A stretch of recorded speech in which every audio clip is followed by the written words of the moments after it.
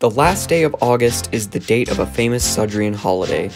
Godred's Day is a celebration of Sodor's history, and every five years, a special automotive race is held, the Godred's Cup.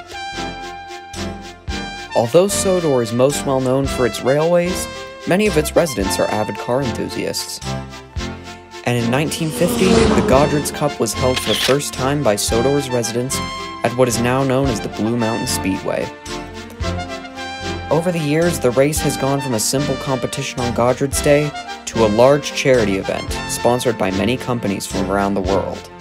But the most unique thing about the Godred's Cup is that all of the vehicles that participate are sentient, and many of them are famous cars that have already competed in many racing championships. In 2015, the 13th Godred's Cup was quickly approaching, and arrangements were already being made.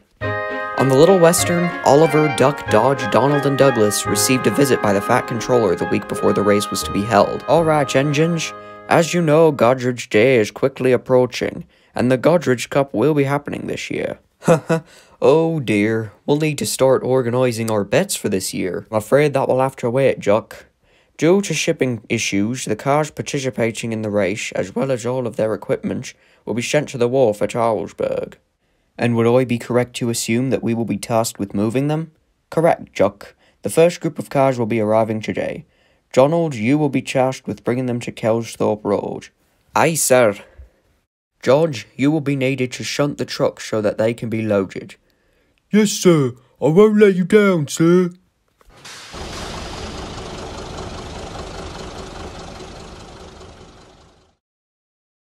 Jock, keep an eye on him. You know he can be a bitch. Well, clumsy? Don't worry, sir, I'll make sure he doesn't get into any trouble. Hey, watch it! Sorry. Idiot. Oi, lay off him!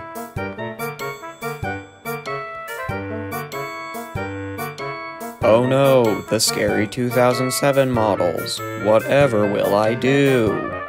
Hey, I'm a 2008 model. Uh, yeah, same difference.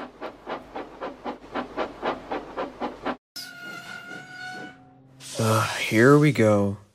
Oh, got something to say, we lad? Yeah, can you tell us about the Crusades, Gramps? Oi, who do you think you are? They call me Ace, four-time Albion Cup champion. And I'm Jim Reverick. Three... Alright, alright. I get your point. Now, shut it.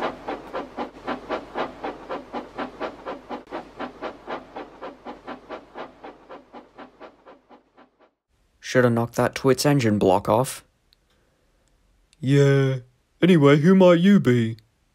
Ralph Carlow, Little Torquey Pistons number 117. Jimmy Cables, intersection number 00. Paul Engas, retread number 79. And I'm Stacy Comet, blinker number 21. I'm Dodge. Uh, I mean, Dodge makes something Little Western D7? I guess? Sorry, we engines don't really do last names. No worries. Yeah, Wait, Ralph, are you British? I figured you'd recognize my accent.